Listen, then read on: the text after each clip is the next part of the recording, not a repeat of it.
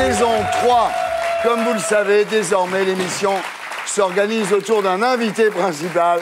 Ce soir, Ramayad.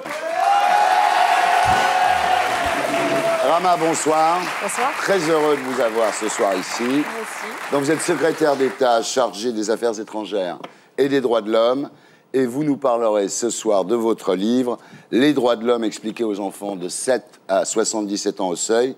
Mais d'abord, je voudrais savoir si vous aviez vraiment des antisèches sur les mains dans l'émission de Laurent Ruquier samedi dernier. Non. Non Parce qu'à un moment, je me suis dit, elle a écrit euh, sur ses mains Zemmour, c'est le petit con, et Nolo, c'est le gros con. Pour les reconnaître. Tout le monde en a parlé pendant une Ah semaine. oui, oui, oui. Faut dire, les gens, ils n'ont que ça à faire. C'est Bah oui, incroyable. c'est pas ça, hein. c'est que vous êtes une C'est star. impressionnant. À un moment, j'ai cru que sur ces, sur ces antisèches, il y avait le nom du père de l'enfant, de Rachida Dati. Non, non, non, non, du tout. Bien, donc en P1, nous parlerons de vous, euh, de votre livre, de votre job, euh, en essayant de ne pas succomber à votre charme. Tiens. Ah ouais, là, vous, je vous trouve très très jolie. C'est macho de dire ça à une fille quand on la trouve jolie? Vous peut-être mieux ça que l'inverse. Ah, Mais en même temps, ça ne suffit pas. En tous les cas, vous avez été élue Miss Conseil des ministres. Ce que... Ah oui Vous êtes la plus jolie du Conseil des ministres. Donc en P2, nous commenterons l'actualité de la semaine en compagnie de Liane Folly qui sort le DVD de son spectacle La folle parenthèse. Ensuite, Jean-Luc Mélenchon nous rejoindra. Euh, vous savez que Jean-Luc Mélenchon vient de quitter le, le Parti Socialiste. Il a signé au Réal. Je ne sais pas si je Alors, en P3, nous recevrons Patrick Chenet pour son livre Il est où Ferdinand? Journal d'un père orphelin qui est un livre absolument poignant, c'est extraordinaire. Oui. C'est vraiment, ouais, c'est formidable. Voilà, l'émission s'appelle Salut les terriens et le groupe Les Gréments de Force.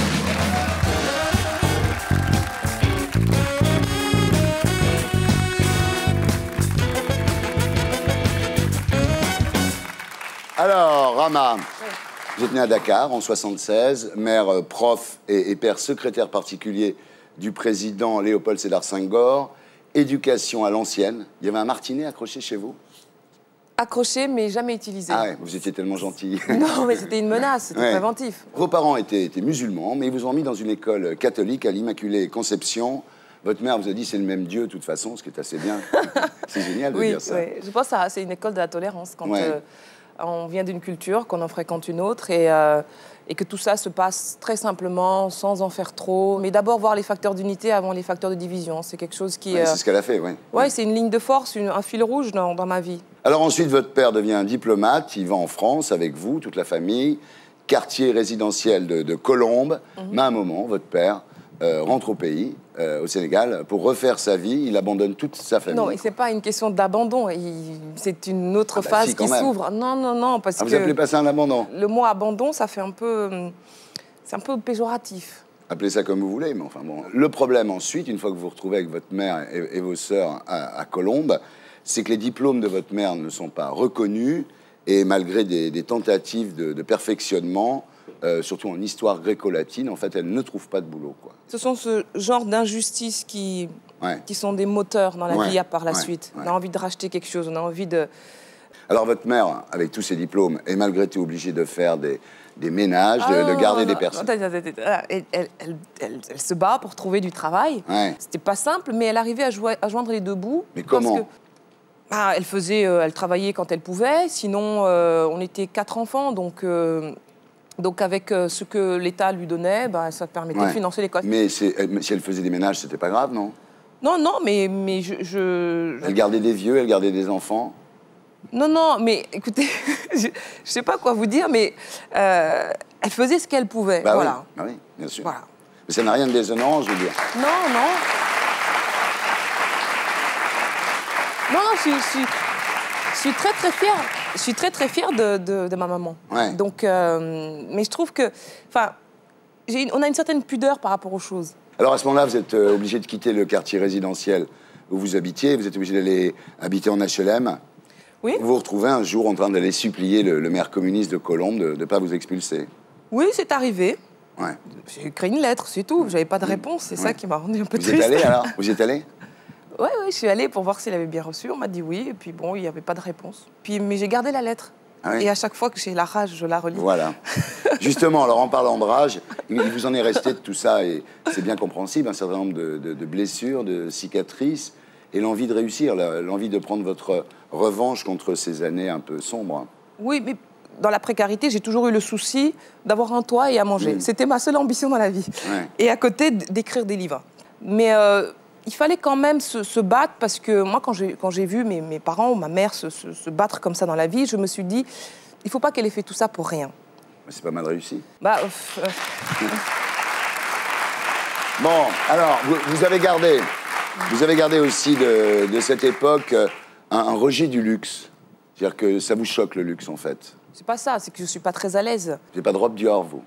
Non, mais je, suis très mal à l'aise parce que ce sont des boutiques où, en général, euh, il y a toujours quelqu'un qui vous suit, déjà quelqu'un qui est, qui est mieux foutu que vous, en quelque sorte, et ensuite qui vous pourchasse jusque dans le, le salon d'essayage et qui, qui voit tout, Oui. que ce que vous n'avez pas envie qu'il voit, et, euh, et puis euh, qui, vous, qui vous impose ses goûts comme une grande robe rose, alors Mm. que, en me disant ça fait très bien sur votre peau, alors que moi j'aime plutôt les choses sombres. Et, et du coup, on est obligé de dire bon, bah, c'est Ouais. très bien, et puis de, de sortir avec ça, euh, fagoter ainsi. Et, et- et donc, il y a un- ce, ce regard social me pèse un peu. Alors, à l'époque où vous passez le bac, on découvre en fait que vous êtes une sans-papier. Non, C'est-à-dire que euh, je suis venue en France avec le statut d'expatrié. Ouais. Et, euh, et à un moment donné, je bascule dans le statut d'immigré. Et vous le sentez venir, ce truc-là. Le changement, il est, il est, c'est un changement de statut, c'est un changement psychologique, et on ne vous regarde plus de la même manière. Et je m'en suis rendu compte donc au moment de passer un bac blanc, Ouais. là, euh, on m'a demandé ma carte d'identité, et effectivement, Vous aviez un vieux papier tout froissé. tout jaune parce que je le tendais tout le temps, et donc j'ai tendu mon pauvre truc, et, euh, et donc euh, le, le- surveillant m'a dit euh, devant tout le monde. ce papier est périmé, mademoiselle, vous ne pouvez pas passer votre bac blanc. Ah, vous êtes plus inquiet par ce que pensent les autres que par Ouais, ce qu'ils viennent sûr, vous dire. Et, et après, bon, on s'est, on s'est, battu encore Voilà. pour, euh, Bah oui. sortir de cette situation. En les cas, vous avez passé le bac, vous êtes devenue une, une brillante élève. euh, vous dites j'ai décortiqué des poèmes et des versions latines à m'en faire pourrir les yeux. Oui, je suis devenue mieux à cause de ça. Ouais. Alors vous avez fait donc euh, Hippocane, Sciences Po, enfin très bonnes études. Et un jour, le grand jour est arrivé. Voilà, j'ai rencontré le président de la Oh enfin, là le, là. le- et alors comment c'était la première fois? Comment c'était? Il était derrière son bureau, debout, euh, les manches repliées. Ah là là. Et puis, il ne me regarde pas, il tourne des feuilles sur, sa, sur son bureau en fumant un cigare. Donc, j'ai pas dit grand-chose. Il m'a dit euh, Vous avez fait Sciences Po, c'est ça? Je dis Oui, euh, monsieur le ministre. Et puis, il, a- il m'a dit à la fin euh, Qu'est-ce que vous voulez faire? Ouais. Je lui ai dit Je veux m'engager en politique. Et il m'a dit ben, on, va vous, on va vous tester, on va voir. Ouais. Et puis un jour, il m'a confié la parole lors d'un, lors d'une- d'un meeting. Et j'ai pris la parole, il a trouvé que j'avais de Ah, l'éloquence. vous êtes très bonne. Non, non, là, on voit, on voit la version latine, là, quand vous parlez. Ah non, mais c'est vrai. Vous avez un sens cicéronien de la phrase. Cicéronien. Bon. Et euh, la veille, il m'avait prévenu la veille en me disant, euh, toujours avec ce fameux cigare, euh, je voudrais que tu t'exprimes lors du, lors du, du congrès de, de l'UMP, de l'investiture, entre Panafieux et Raffarin. Des gens qui, pour moi, je ne voyais, que je ne voyais qu'à la télévision. Ouais. Donc c'était assez impressionnant. Et, euh, et euh, je lui dis, mais devant euh, 20 000 personnes Et là, il tire sur son cigare et me dit, peut-être 50 000. Bon, stress. et euh, évidemment, j'ai passé la nuit à Ouais. écrire, à écrire, à écrire. Et puis, et puis après, il fallait bien y aller. Voilà. Ça a marché, voilà. Et alors, il y a eu un autre, il y a eu un autre moment très important aussi dans, dans- dans votre carrière politique. euh, Armand, c'est quand le 1er octobre 2007, euh, euh, Ban Ki-moon, à la tribune de l'ONU, se tourne vers vous et vous demande quelle est la position de la France. Et la France, ce jour-là, c'est vous. Oui, je me suis retournée pour, dem- pour me demander à qui il parlait. Ouais. Et puis, euh, et puis c'était moi. Et là, j'ai eu le sentiment d'être un peu plus française. Ouais. C'est-à-dire d'être, d'être libre de l'être, Ouais. euh, de ne pas avoir à choisir entre deux cultures et de représenter euh, non pas euh, les minorités ou les Noirs, mais de représenter un pays. Voilà. C'est un moment extraordinaire. Après les HLM de Colombe, c'est bien. Alors, vous avez un très, très beau parcours, et puis ça, ne- ça ne fait que commencer vu votre euh, jeune âge. Oh, on ne sait pas. hein. Le problème, c'est qu'en fait, vous avez été nommé au nom de la discrimination positive d'une certaine façon. Euh, par rapport à, à Obama, qui a été élu, vous, vous avez été nommé. C'est quand même une différence de, de fond, quand même. Laissez-moi le temps euh, d'être élu. Pensez Mais- que vous serez présidente de la Ah, non, République ah, Pourquoi pas Je pas. Alors, bon, il y a un problème, Rama. On va. C'est à quoi est-ce que vous servez dans ce gouvernement Vous Oui. avez écrit dans votre livre les dirigeants des autres pays n'aiment pas qu'on dise ce qui ne va pas chez eux. Oui. Donc, vous, votre boulot, c'est de dire ce qui ne va pas chez les autres. Vous voyez combien Ben non, mais je sais, est- c'est extrêmement compliqué. Mais- Sarkozy, il avait dit je serai le président des droits de l'homme. Il a reçu Bongo, Kadhafi. Il est allé en Tunisie, en Chine. Il a félicité Poutine. Euh, Bon, alors ça, c'est un résumé un peu rapide. Oui, comme tous les résumés. Il a aussi rencontré des démocrates. euh, Oui. je- ah bah oui, le euh, prince Charles, oui. Est-ce que Sarkozy s'est engagé, pendant que vous faites la, la- la promo de votre bouquin, à ne pas recevoir de dictateur pendant quelques semaines? Ce, que- ce qui est important de savoir, c'est que moi, au début, je me suis dit, bon, il ne faut pas que je rencontre des dictateurs. Et là, je me suis dit, bon, euh, je ne vais pas faire grand-chose. Ouais. Et au fond, je me suis rendu compte que ceux à qui je devais parler en priorité, c'était justement ces personnes-là. Oui, bah oui, pour faire la paix, c'est avec Eh ben, son ennemi. paix, oui, c'est ça, oui. Pour Ouais. les emmener, les inciter à évoluer. Vous pensez bien que ces gens-là, ils tiennent des bleds par la terreur. C'est pas vous qui allez les faire évoluer. Non, mais moi, je ne dis pas que je vais changer le monde. Ouais. Je vais faire de mon mieux. Ouais. Donc, euh, quand par exemple, euh, on arrive à faire voter par l'Europe des, des- des mesures pour lutter contre les violences faites aux femmes, en donnant instruction à nos ambassades de, de- de mettre ce sujet au top de leur agenda. Mm. Euh, bah, écoutez, on sauve des tas de femmes avec ça. Mm. Quand euh, on demande à des États qui condamnent euh, l'homosexualité de nous rejoindre à l'ONU autour d'une déclaration qui appelle à la dépénalisation euh, de, de Ouais. l'homosexualité, je, je vous assure Enfin, que... ils le font pas non plus. hein. Ah bah bien sûr que si. Ah oui Ça sera d'ici fin décembre. Ah, mais très et bien. et il y aura- y des États qui vont nous rejoindre et en conséquence, ça va changer la, la législation dans leur pays. Donc c'est pas rien. Vous pensez que vous êtes utile, quoi? Bah, je pense que vaut mieux faire ce que je fais que rien du Ça, tout. c'est vrai. Cette histoire de, de droits de l'homme qu'on exporte, là, Mm. est-ce que c'est pas un peu du néocolonialisme quand même? Parce que aller apprendre aux gens euh, à vivre comme nous, c'est penser d'abord que nous, on a un meilleur style de vie qu'eux, et ensuite on leur impose. Alors vous, c'est plutôt gentil. Mm. Les Américains en Irak, ils leur ont imposé la démocratie avec des, des bombes et des chars d'assaut. Mais est-ce que c'est pas du néocolonialisme, ça? Les valeurs qu'on promeut, c'est pas les valeurs, c'est pas des valeurs occidentales. Ce sont des valeurs universelles. C'est ça alors. C'est C'est ça, ça la la différence. différence. Oui, non, mais bon, c'est vous qui appelez ces valeurs occidentales universelles, mais il y a des gens qui vous disent, nous, c'est pas nos valeurs. L'homosexualité, par exemple, vous pouvez pas imposer à des gens qui n'ont pas envie de, de reconnaître l'homosexualité, de la reconnaître parce que nous, on l'a reconnue. Enfin, je Mais on ne demande pas ça.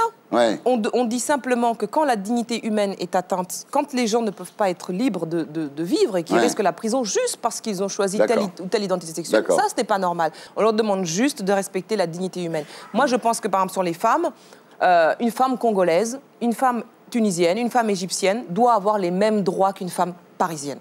Quand vous voyez qu'au Congo, par exemple, il y a eu entre 50 000 et 100 000 femmes violées, Hmm. qu'est-ce que vous dites? Vous dites, ah, bah, c'est comme ça chez eux, on n'y touche pas? Non Ici, en France même, pendant des années, on a excisé dans ce pays. Et euh, les infirmiers, les gynécologues, certaines assistantes sociales ne pouvaient pas l'ignorer. Et bien, qu'est-ce qui s'est passé à l'époque? Il y avait une, une partie de la classe politique un peu tolérante, bien pensante, a dit Ah, c'est les traditions culturelles, il faut respecter. Moi, je ne crois pas qu'on puisse parler de, de respect de, de- de- de la tradition culturelle quand on coupe le clitoris à une petite fille. Voilà, parce que ces choses-là, euh, eh ben, ces mêmes personnes ne les accepteraient pas pour leur propre enfant. Mais le fait de l'accepter pour les autres, D'accord. c'est le comble de l'arrogance. C'est le comble de l'arrogance. Alors, Rama, vous avez déclaré ministre, c'est dur. Je pensais qu'il y aurait plus de bonheur. Oh non, c'est Eh charmant. oui. Non, c'est la vérité. Ça Puis- manque un peu de bonheur, le truc. Oui, non, mais il n'y a, pas de ministère joyeux, je pense. hein. Ouais. Bah, euh, sinon, dites-le moi, Oui, attends, je, je vais candidater. réfléchis, oui, je réfléchis quel ministère peut être joyeux, oui. Est-ce que vous allez conduire la liste UMP Île-de-France aux prochaines élections européennes? Alors, je, je ne sais pas encore. Mhm. Euh, je me dis que j'ai le temps de la réflexion. Et, euh, parce que ce sont des choix qui, qui, comment dire, qui impactent quand même sur votre vie et pendant longtemps. Bah, Vous allez vivre à Strasbourg, vous? je n'en sais rien. Non, mais vous connaissez. Mais Et, vo- et ça, votre mari, des- que faire de votre mari Si j'y vais, je l'amène avec moi. Ah, il a de la Bah oui. chance Comme vous le savez, en P2, nous recevons de nouveaux invités pour commenter avec nous l'actualité de la semaine. Et d'abord, Liane Folly. Vous connaissez Ramayad? Vous savez l'imiter? Justement, pas encore, Il mais faut je vais. essayer, hein. Oui, mais de toute Non, façon, là, non, j'ai non, du boulot non. parce Pourquoi, que. C'est maman pas nécessaire.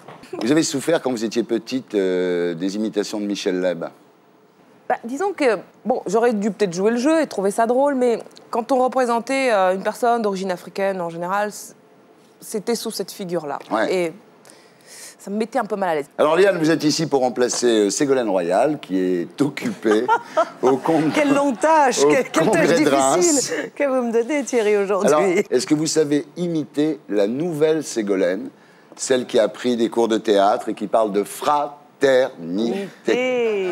Alors, vous voyez, ça vient, fraternité. Ah, Tout le monde devrait avoir ce mot à la bouche. la fraternité. Alors, c'est incroyable, euh, Liane Folly, elle est incroyable, elle a changé de nom, elle a changé de nez, elle a changé de mec, et après, elle a changé de métier. Non, pas vraiment. C'est tout enfant. J'imitais déjà les cris des animaux, des choses. Après, la famille, les profs à l'école, les chanteuses. Je suis rentrée dans l'orchestre de mon père, j'étais jeune, j'avais 12 ans. Non, non, c'est arrivé très jeune. En fait, Après, j'ai vous- fait de la musique, Ouais, mais. bah oui. Quand on vous a connu et que vous étiez chanteuse de jazz, vous imitiez une chanteuse de jazz, en fait. Exactement. Non, mais sans doute, oui, bah oui. Et là, j'imite. Pour faire plaisir à André. bon, en tous les cas, aujourd'hui, vous êtes devenue une parfaite showwoman euh, avec ce spectacle, la, folle parenthèse, qui est en tournée dans toute la France. Euh, Vous êtes à l'Olympia le 30 et le 31 décembre. Il y a le DVD. Et c'est vrai qu'à une époque où aucun disque ne se vend plus, vous avez trouvé un moyen de continuer à, à manger. Oui, non, mais c'est Ouais, vrai. mais c'est vrai, bien sûr. Mais en plus, c'était pas voulu. Disons que je voulais réaliser quelque chose de très personnel et qui était dans ma suite logique Ouais. d'évolution artistique. Mais euh, j'ai pas calculé. euh, C'est très moins. bien. Ben, merci, mais c'est. Bon, on va voir, on va voir à quoi ça ressemble.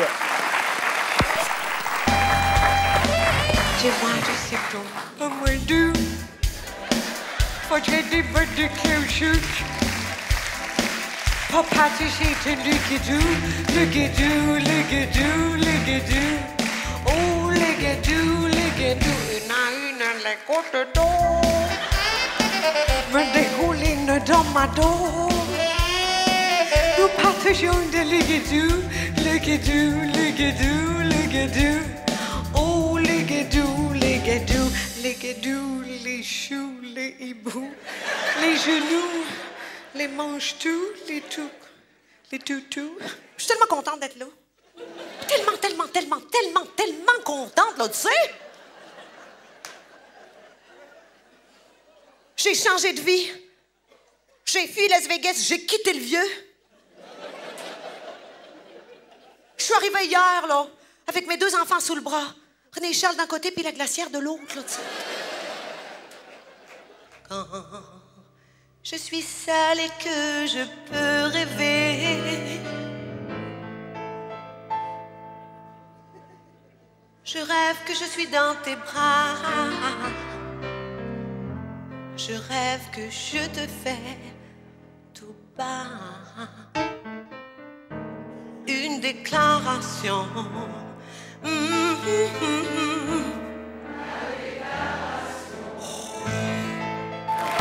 Voilà, la folle parenthèse. Grâce à Dieu, ça a été plus qu'une folle parenthèse parce que ça continue là. Puis alors Ségolène est revenue sur le devant de la scène. On va faire une interview Ségolène, le retour.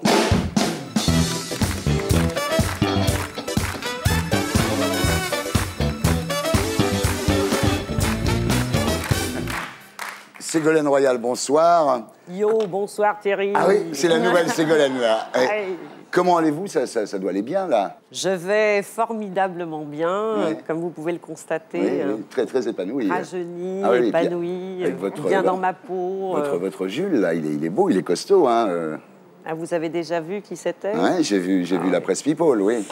Disons que. Bon, on le connaît bien ici sur Canal. hein. Bah, disons, comme j'ai commencé ma carrière euh, de One euh, Woman Show, il fallait bien que je trouve quelqu'un de fort pour écrire mes textes. Ah ben là, oui, alors là.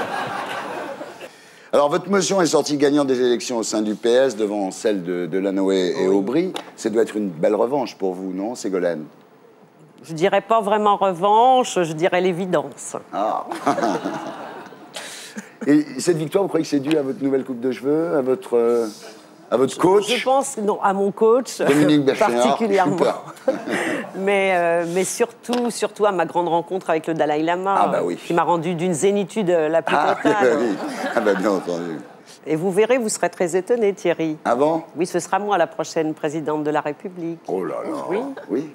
Je vous le dis, j'ai souvent raison, vous savez. Oui, c'est vrai.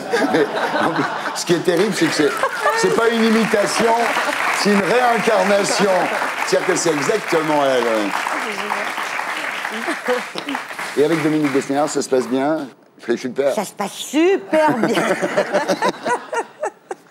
Et alors, Liane Folly s'est mise à vous imiter, c'est go, alors Oui, je l'ai rencontrée d'ailleurs. Alors, Oui, comment ça s'est passé, Oh, cette bah, Je ne voulais pas le croire, c'était impressionnant. Ah hein. Elle s'est mise en face de moi, puis tout d'un coup, elle m'a dit non, je ne suis plus en colère. c'était. Voilà, Liane Folly, bravo. Le DVD est sorti. Elle est en tournée dans toute la France et elle est le 30 et le 31 décembre à l'Olympia. On passe maintenant aux commentaires de l'actualité de la semaine avec les infos de Blacko, première partie. Obama n'est pas encore installé à la Maison Blanche qu'il déçoit déjà. Il avait promis de réduire les ventes d'armes et en octobre, elles ont augmenté de 15%.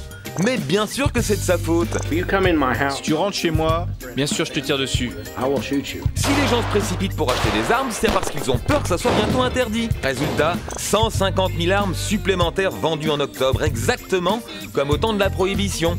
Quand on a interdit l'alcool, tout le monde a voulu en acheter. D'un coup, j'ai un doute. McCain, c'était pas mieux comme président? S'ils veulent tous prendre la tête du PS, c'est bien sûr pour s'installer un jour à l'Elysée. Ah ah, être le chef, quel pied Sauf qu'avant les présidentielles de 2012, il y aura les européennes en 2009. Comme le scrutin est proportionnel, ça devrait favoriser Bayrou et Besancenot. Et si le PS fait un mauvais score, ça sera la faute à qui?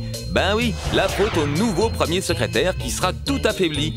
En 93, Rocard est nommé à la tête du PS. En 94, il fait 14% aux européennes et il doit démissionner dans la foulée. Bye bye l'Elysée.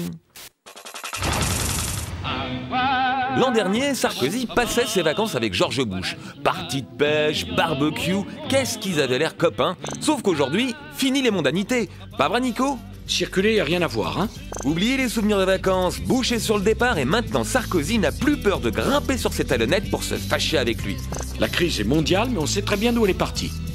Pas étonnant que cette semaine notre président ait reçu le prix du courage politique, parce que pour tenir tête à George Bush à deux mois de la fin de son mandat, ben faut du cran. Je ne sais geste, celui de retourner ma veste. Toujours du beau côté.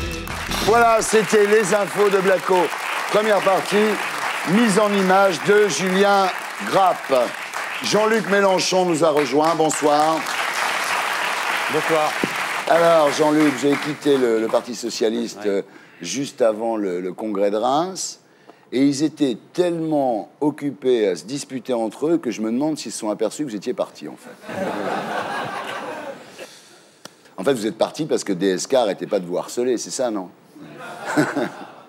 Quoi, les vaseuses, celles-là, Ouais, vous trouvez En fait, vous avez quitté le Parti Socialiste parce que c'est devenu un parti de, de centre-gauche, vous en êtes sûr maintenant? Moi, je, c'est pas mon truc, le centre-gauche. C'est pas Mm. pour ça que j'ai adhéré, que je suis entré dans le combat socialiste, donc par fidélité euh, Ouais. à moi-même. Puis je vais dire plus qu'à moi-même, au- à plein de- des milliers de gens dans ce Ouais. pays qui, qui ressentent la politique euh, comme moi, qui ont envie d'avoir un rapport, pardon madame, un peu plus euh, frontal avec euh, la droite, pas s'abstenir quand le gouvernement propose Ouais.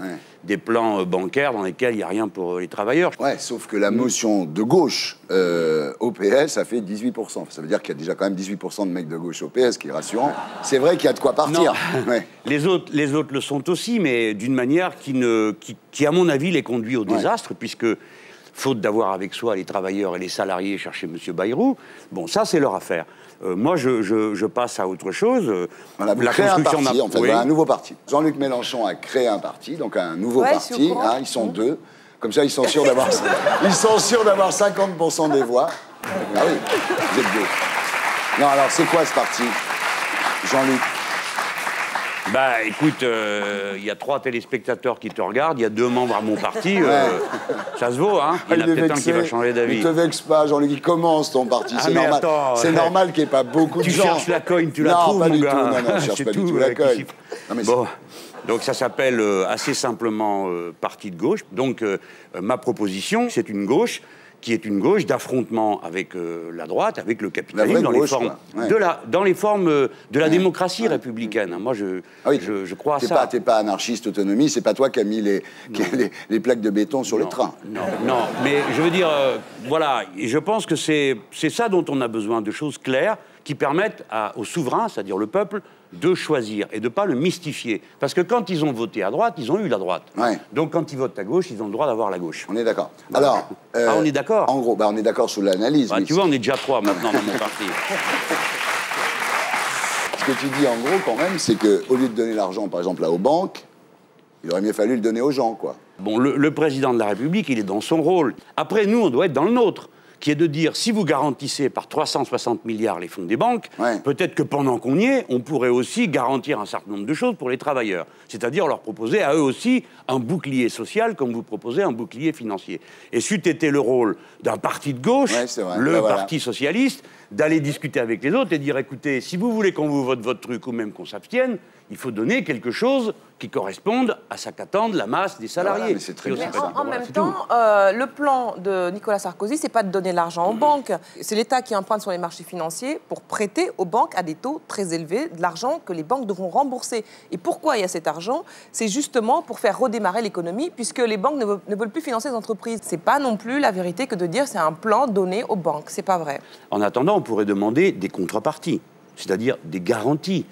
Par exemple, l'État pourrait euh, poser des conditions à ces versements. Ouais. Il n'y en a cas. aucune. Si, si, il y a, non. il y a la- quand même il y a la charte sur les surrémunérations. Et il a aussi demandé au MEDEF et à toutes les organisations patronales de trouver des mesures pour lutter contre le phénomène des Voilà. parachutes dorés. Moi, je ne demande pas au MEDEF gentiment s'il veut bien modérer euh, les rémunérations des patrons. ils- ils l'ont et s'il. Non, mais attendez, lui, attends, non, vous, mais- vous ferez croire ça. mais voilà, c'est- vrai que lui, il demanderait pas Ou gentiment. demander aux banquiers Lui, de bien vouloir- l'armée occuper les banques, C'est tellement vrai que c'est. Écoutez, c'est tellement vrai que c'est pas vrai que les mêmes continuent dans leur salle de change à faire leur besogne. Par exemple, ces personnages qui, à la caisse d'épargne, ont continué à jouer et, et- et à spéculer jusqu'à envoyer dans la caisse d'épargne dans le mur ont euh, pour été 600 sanctionnés millions. depuis. Oui, mais ça, Le ils peuple ont est été avec toi. sanctionnés entre eux. Alors, vous voyez, il y avait matière à discuter. Au lieu de tout ça, euh, mes amis euh, du Parti Socialiste ont choisi de dire, eh ben, ils avaient tellement peur qu'on les prenne pour des irresponsables que les uns ont voté vrai. pour le plan dans la commission euh, Ouais. des finances et les autres ont tous fini par se décider de s'abstenir euh, dans l'Assemblée nationale. voyez, j'ai Vous avez rien le à droit de- ajouter, puisque, puisque M. Mélenchon vient de dire ce qui s'est passé, à savoir que si des gens au Parti Socialiste ont voté pour ce plan, ou se sont au, au minimum abstenus, c'est que ce plan était complètement équilibré. Et voilà. Et c'est pour ça, et c'est pour ça qu'il s'en va du Parti C'est Socialiste. Voilà. c'est pour, pas- c'est pour plus entendre ça. Voilà. Et donc, je crée le parti de gauche, ça s'appelle comme ça. Je vais avec ceux qui voudront bien, je pense en particulier au Parti communiste, mais je vais aussi m'adresser à Besançon, À et à Besançon, d'autres. bah oui. Je voudrais que nous fassions un front de gauche aux prochaines élections euh, qui vont avoir lieu, parce que c'est là que le peuple vient avec un bulletin de vote pour décider euh, ce qu'il choisit. Donc, je donne rendez-vous à tout le monde aux élections européennes, et mon projet est de faire en sorte que le front que nous constituerons, le front de gauche, soit et devant la droite et devant le Parti socialiste. Et des soviets partout. J'ai pas dit ça. Je plaisante. D'accord, tu plaisantes, mais moi je plaisante pas. On continue le passage en revue de l'actualité de la semaine avec les infos de Blacko 2. Cette semaine, les fans faisaient la queue jusqu'à minuit pour acheter le nouveau jeu World of Warcraft. 11 millions de personnes vivent dans ce pays virtuel, soit plus qu'en Grèce, en Belgique ou au Portugal. Faut dire que de nos jours, les sorties au ciné, au resto ou en boîte sont hors de prix. La vraie vie, c'est un luxe réservé aux riches. Alors pour les pauvres, on a créé les mondes virtuels. Pour 13 euros par mois, ils peuvent se réfugier des journées entières dans un pays imaginaire. D'accord, c'est peuplé de monstres, mais c'est toujours moins flippant que de voir débouler les huissiers pour de vrai. C'est la règle de base du journalisme, on ne parle pas des trains qui arrivent à l'heure. En revanche, quand 160 trains arrivent en retard à cause de dangereux terroristes anarchistes, là oui, ça fait la une des journaux. Pourtant, des trains qui arrivent en retard, c'est pas ce qui manque en France. Chaque jour, un demi-million de passagers empruntent le RERD et 20% des trains sont en retard sur cette ligne. Alors, pourquoi ça fait pas la une des journaux? Bah, quand un train est en retard tous les jours, c'est plus une information. Le jour où le RERD sera à l'heure, là peut-être qu'on en parlera. Oh, dommage pour Nikos. Il a failli décrocher le prix Goncourt. Bah ouais. D'abord, il a lui aussi un nom étranger, comme Atik Raimi. Ensuite, il a lui aussi écrit un livre et surtout, ils ont tous les deux travaillé à la Star Academy. En effet, en plus d'écrire, Atik Raimi a adapté la Star Academy pour une télévision afghane.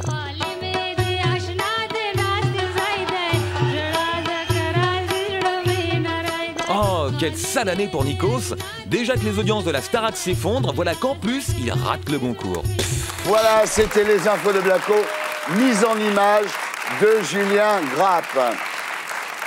Alors ça y est, les droits de l'homme ont gagné, il y a la Starac en Afghanistan, c'est formidable, tout le monde va adorer la Starac, tout le monde va manger des McDo, etc. Voilà. Ça fait partie aussi. Alors bon, on n'est pas obligé de prendre euh, ce qu'il y a euh, de moins intéressant dans la culture occidentale. Elle est mignonne. Même. mais, mais les droits de l'homme, c'est aussi le, le droit de vivre dignement de son travail. Ouais. D'accord? Il y a 7 millions de pauvres dans ce pays, dont 3 millions de travailleurs. Et tout à l'heure, on a montré, quand on peut faire un commentaire qui est magnifiquement fait. Peut-être que Blakowski, tu peux l'intégrer à ton nouveau parti. Ah oui, Ça fait plaisir, trois. hein.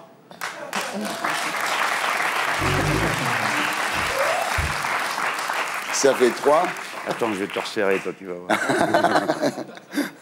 Quand tu seras président de la République, tu me mettras en prison? Ah non, non. Ah bon? Ramayad. Sarkozy à plus 8%, ça vous fait plaisir, ça? Oui. Ouais. On a l'air malin, nous. Ouais.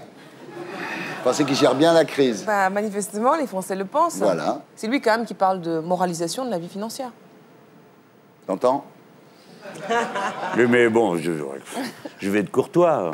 Je vais dire oui, oui. Mais sois pas bon, trop courtois. dire, Parole, quoi. Sois pas trop courtois, parce qu'à force d'être bon, courtois, on c'est- se retrouve avec Bérou. Ouais, c'est ouais. des paroles. Moi, quand j'entends Ouais. M. Sarkozy paroles, dire qu'il va, mais qu'est-ce que vous faites, qu'il va vous, pour la rectifier le, qui fait le, qui va rectifier le capitalisme, voilà quoi. Je vois d'autres gens, par contre, qui ont pris leur courage à deux mains avec le peu qu'ils avaient et qui ont essayé d'inventer d'autres manières de vivre ensemble. Je pense aux Boliviens, aux Vénézuéliens, aux Argentins, aux Uruguayens. Tout cela, ils Ah, c'est ça essayent. que tu veux Non, mais- Oui, parce qu'on Ah, leur a passé sur le corps le libéralisme et ils ont essayé d'inventer une autre forme. Là, c'est pas des paroles Oh là là sur là la moralisation du capitalisme, c'est un changement de système qu'ils sont en train de faire. Donc tu es assez pro-Chavez, toi. Entre autres, ben, pro Chavez. Il va, il va Chavez, terminer, terminer au Bois de Boulogne avec des guérilleros. Moi, ah, le prends pas mal, Jean-Luc. Oh. Bien, alors oui, on va voir si vous avez bien suivi l'actualité de la semaine. On passe au champion de lecture.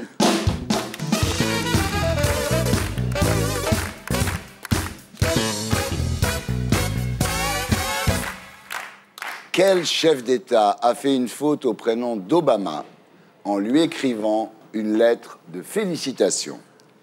Silvio Berlusconi, George Bush, Benoît XVI ou Nicolas Sarkozy? Je préfère ne pas répondre. Vous connaissez la réponse, vous avez peur de perdre votre travail. Pour une si fois, allez-y. Nicolas Sarkozy. Nicolas Sarkozy, voilà. Je sais pas si c'est vrai.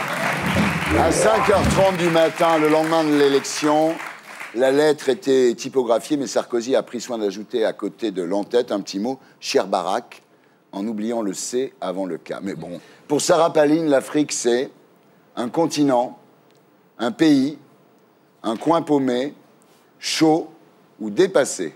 À votre pays. avis? Un pays. Un pays, bravo. Elle croit que l'Afrique, c'est un pays. Oui, mais c'est pas. C'est pas la seule. hein. Le- L'enseignement est tellement mal fait aux États-Unis que dans un sondage, ils avaient constaté que 60% euh, des personnes sondées euh, pensaient que le Nicaragua était euh, un département de l'URSS. Ici, quand on voit un Africain, on voit un Africain.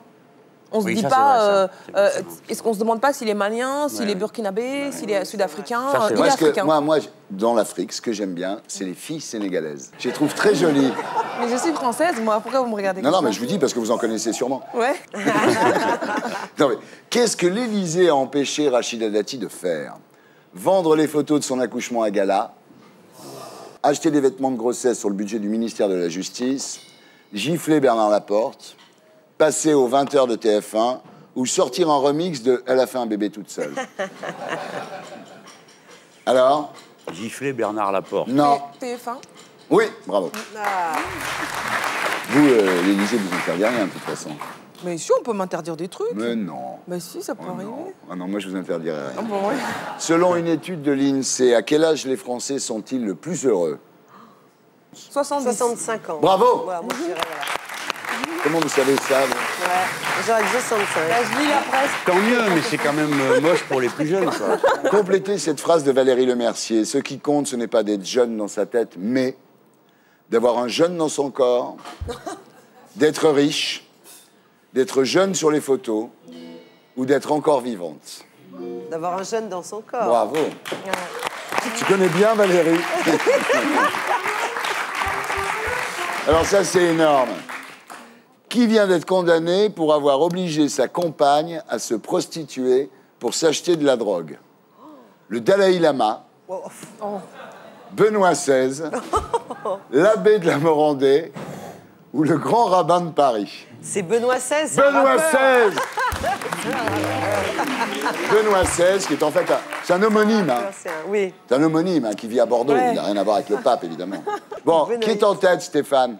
Ah, Ramayad est en tête. Il est toujours en tête. Ah. Bien. De toute façon, ça ne change rien, parce que maintenant, il y a le, il y a le banco.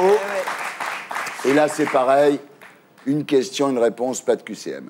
La France aime bien se préoccuper de l'avenir du monde, mais quelle est la part que représente la France dans la population mondiale? Dans les 1%. Ramayad qui a trouvé, c'est 0, 0,92. J'accueille maintenant Stéphane Guillon.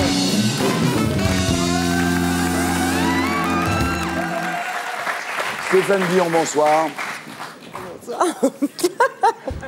Comment on va J'aime- C'est ma seule copine dans le métier, donc j'en profite. Bonsoir.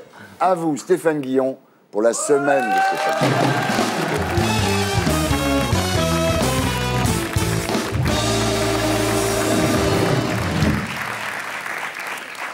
Et on commence avec la nouvelle offre de l'opérateur SFR, le forfait PS. Ce forfait permet d'appeler à volonté une personne que vous détestez afin de tenter une réconciliation. Pareil que ça marche pas.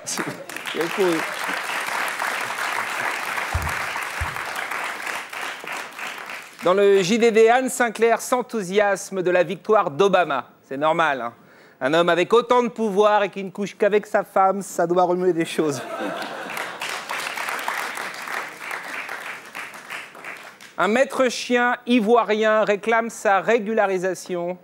Un ivoirien sans papier? Ah non, c'est non, non, non. Hortefeux voudra jamais. Le chien, c'est quoi? Un malinois? Pure race? Il a son pédigré?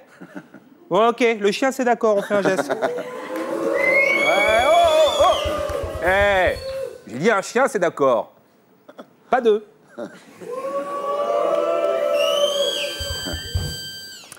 Il reste trois poilus en Angleterre. Quand ils viennent en France, on les reconnaît car ils roulent à gauche en fauteuil roulant.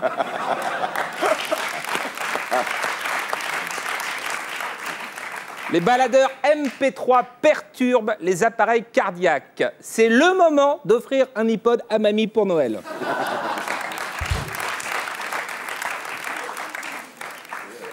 Jeudi, c'était la journée de la gentillesse. Bah, j'ai rien foutu, je suis resté à la maison chez moi. Quoi. Ouais. Tu choques terriblement Rama. hein. Ah, c'est terrible, c'est terrible. Ah ouais. Je sais pas comment vous faites. Ouais. Bah, c'est un entraînement, hein. Ah oui, oui, d'accord. Ah, ça doit être bien payé, c'est pour ça. énormément. Trois personnes sont mortes après avoir avalé des gélules pour maigrir. On peut voir le résultat? Ah ouais, quand même. C'est dangereux, mais c'est efficace.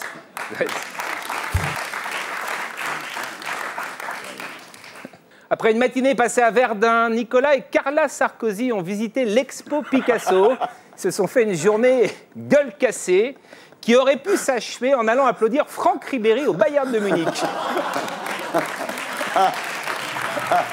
Des électrodes placées dans le cerveau pour soigner les tocs. Il paraît que c'est très efficace. J'ai un ami, à chaque fois qu'il interviewe quelqu'un, il fait Ouais, ouais, ouais.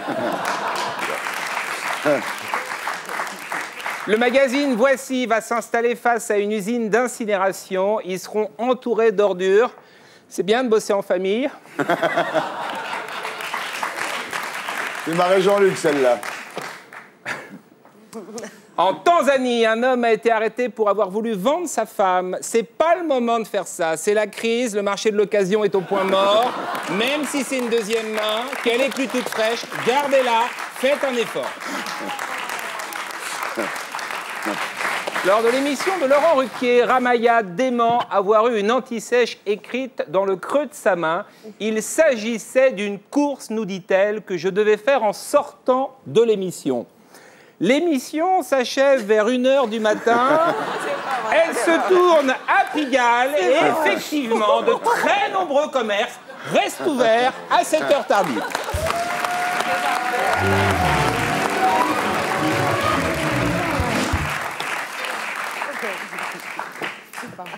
Menteur. Ça doit être bien payé. Hein. Une femme de 67 ans est morte écrasée par un corbillard qui effectuait une marche arrière. Moi qui suis un grand fan d'humour noir, à titre posthume, j'aimerais qu'on applaudisse très fort cette dame, s'il vous plaît.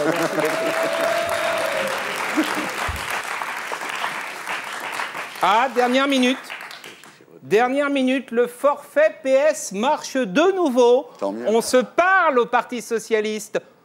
Gourde dangereuse, loser aigri, flingueuse, ringard. Dominique Bessner pense que Ségolène pourra rassembler la grande famille du PS. Bien sûr, l'important, c'est pas les mots, c'est ce qui se dégage de la personne. Regardez ses visages. Ben, on sent tout de suite le bonheur, la fraternité, l'envie de se retrouver, de serrer l'autre dans ses bras. C'est ça qui est beau. Le reste, c'est des ragots de journalistes, c'est immonde. De toute façon, Mélenchon, ah, j'ai du mal à le dire, Mélenchon. Mélenchon, il a fait une erreur. Hein. Tu jamais dû partir, ma poule. Tu vas le regretter, tu vas te mordre les doigts. Comme vous le savez, en P3, nous recevons l'auteur d'un essai, d'un document, d'un témoignage. Ce soir, Patrick Chenet, toujours en compagnie de Ramayad et de Liane Folly. Alors, euh, Patrick, euh, vous m'avez fait pleurer deux fois dans ma vie. La première fois, c'est quand je vous ai vu sur scène dans une pièce qui s'appelait Skylight. Oui, je me Ensuite, je suis allé dans votre loge Oui, je et j'étais en larmes, complètement en larmes, bouleversé. Et, et la deuxième fois, c'est quand j'ai lu euh, le livre que vous avez publié à la rentrée, euh, qui s'appelle Il est où Ferdinand Journal d'un père orphelin chez Michel Lafon. Voilà. Alors, le vendredi 13 octobre 2006, à 3h19 du matin, votre fils Ferdinand meurt dans un accident de voiture porte d'Auteuil. Il a 20 ans. Après une représentation de Soleil Noir, il était comédien, et une soirée bien arrosée, un ami le raccompagne, il a 1,68 grammes d'alcool dans le sang, il prend le périph' dans le mauvais sens et il percute une voiture qui arrive en face. Les deux conducteurs s'en sortent, pas Ferdinand. Ferdinand n'est plus là et vous décidez d'essayer de le faire vivre en écrivant au jour le jour, à partir de ce moment-là. Oui, c'est une seconde naissance. J'ai été obligé de faire l'apprentissage d'un nouveau monde. C'est-à-dire qu'en fait, à partir du moment où Ferdinand disparaît, vous, vous recommencez à apprendre à vivre dans un monde différent du précédent. Oui, enfin, c'est-à-dire qu'il y a effectivement, il y a toujours, euh, quand il arrive ce genre de catastrophe, il y, a, il y a- il y a avant et après, si je peux dire. Et évidemment, c'est pas pareil. hein. C'est quand on a perdu son fils. euh. Euh, C'était une façon de, de le faire vivre quelques années de plus. Ouais. Essayer de, de prolonger non pas sa vie, mais en tout cas son existence d'une autre manière, puisqu'il n'est plus là. Euh, en, en parlant de lui, en faisant des films, ce que j'ai fait, j'ai fait un film, et puis en écrivant ce bouquin, qui est un espèce de journal. Vous lui parlez, peut-être qu'il vous écoute, vous n'en savez rien en fait. Alors c'est une grande question. je- Ouais. Parfois, euh, oui, parfois j'avais l'impression que peut-être il pouvait m'écouter, euh, m'entendre, qu'on pouvait dialoguer, ou en tout cas il m'envoyait des signes. Euh, pas sûr. hein. Vous lui dites que vous l'aimez, vous lui dites Je t'aime, mon grand. Tu as l'avantage d'être mort, ça facilite les aveux.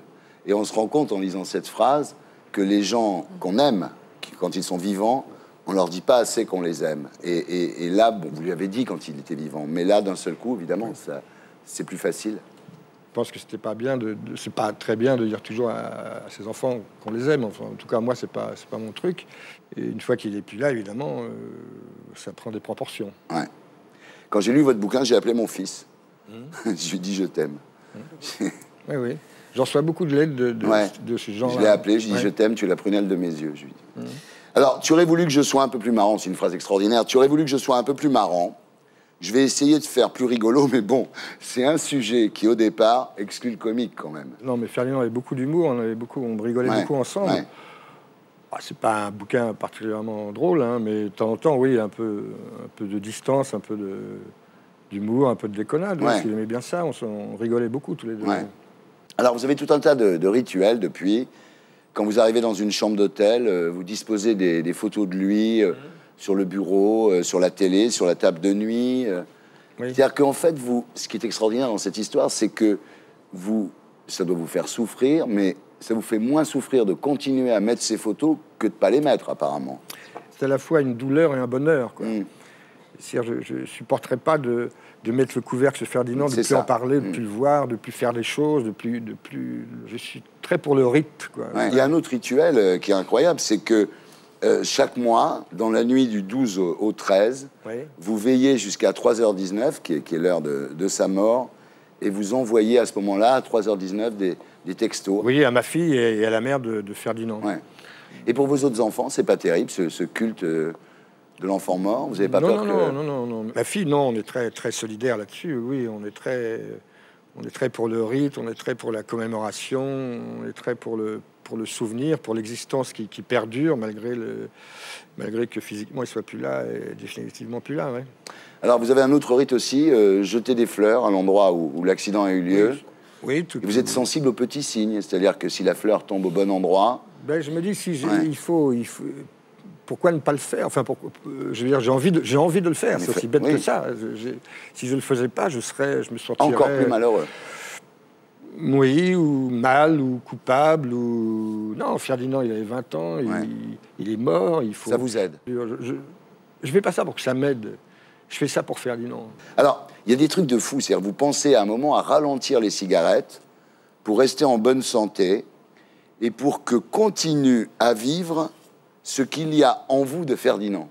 C'est-à-dire, si je meurs, Ferdinand existera moins. Donc j'ai décidé un petit peu de ralentir parce que je me dis si, si, je, si je fume et que j'attrape une saloperie et que je meurs, c'est pas c'est pas bien pour Ferdinand. Au moins ça, au moins ça qui continue un, petit peu à travers, un tout petit peu à travers moi. Alors, vous lui laissez des messages euh, sur sa boîte vocale et vous avez peur d'en laisser trop, parce que vous dites que la boîte vocale va être saturée. Mm. Euh, Jusqu'au jour où Orange vous dit, euh, voilà, Oui. le numéro n'est plus attribué. Bah oui. Donc autre je fa- pouvais plus entendre sa voix. Voilà, pouvais ouais, plus- ouais. ouais, ouais, bah oui, c'est la, la, la loi, c'est le règlement. Euh. Alors, dites-moi quand même, ce, ce jour-là, euh, Ferdinand avait quand même pas mal picolé, moins que le gars qui conduisait, mais il avait pas mal picolé. Il, buvait beaucoup C'est-à-dire que, que- comme tous les, les- les gamins, de, les ados, les jeunes adultes, ils se font des défonces. C'est-à-dire quand ils sortent, ils vont jusqu'au bout. Pour sortir, ils avaient besoin d'une dose, et, euh, ils se retrouvaient, ils continuaient, jusqu'à Ouais. avait pas, sans- nos limites. Ouais. Mais vous lui disiez, vous, il faut pas que tu picoles autant ou non? Oui, bien sûr, oui. Ouais. oui, oui. Alors vous dites, la, la mort vous- me fait plus peur. C'est-à-dire que j'étais super hypochondriaque et tout, j'étais toujours peur d'avoir des trucs et tout. Et là, d'un seul coup, vous prenez les choses avec... euh, Bah, C'est-à-dire qu'on a toujours peur de la mort, et là, euh, elle m'a- bien niqué. Quoi. Ouais, Enfin, en tout cas, c'est ouais. pas moi, mon fils, mais, Ouais. euh, mais j'ai plus peur, non. Parce qu'avant, j'avais- je suis très Ouais. hypochondriaque. Vous pensez que la mort vous a fait ce qu'elle pouvait vous faire de pire, en fait? Oui, voilà. Ouais. Donc, je suis relativement dégagé par rapport Ouais. à ça. Alors voilà, vous avez fait une association, donc... Euh, Bec BD vous a trouvé un très beau slogan. Amuse-toi, mais reste vivant. Amuse-toi, C'est une mais chanson reste- des Big G. Ouais, c'est Mm. bien.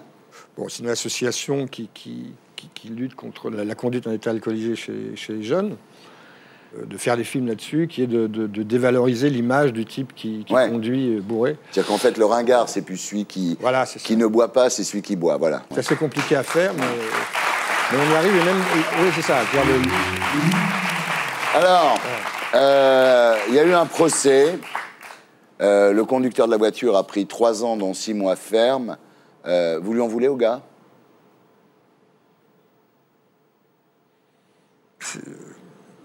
Je- je- oui et non. Je- J'en je- j'en sais rien.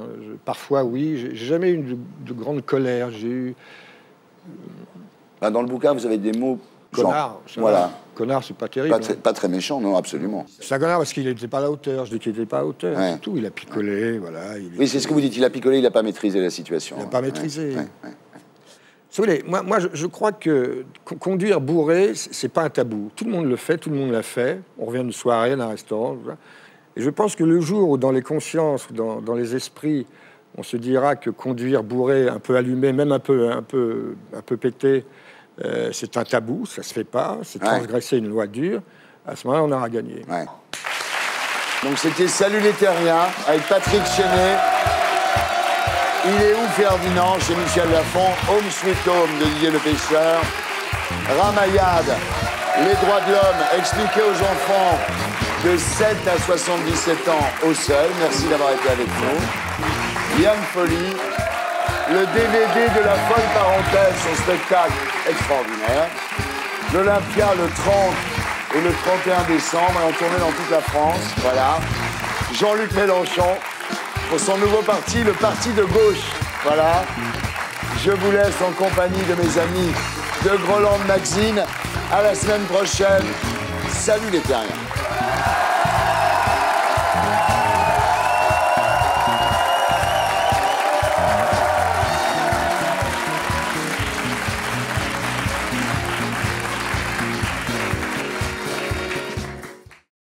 Et pour être sûr de ne rien rater de Inarditube, abonnez-vous et mettez un pouce bleu.